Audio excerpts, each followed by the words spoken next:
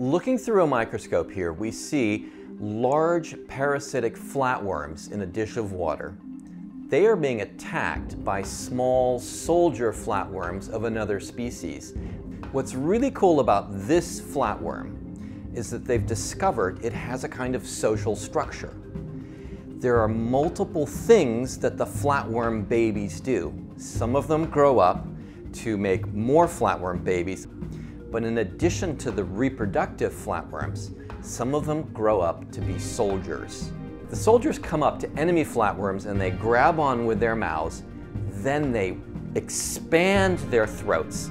This creates a vacuum inside their mouth, and that pressure difference bursts a hole in the side of the enemy flatworm. Then what they do is they use this same vacuum to pull the guts out of the larger one, and you can see it kind of moving through the digestive tract of the soldier here.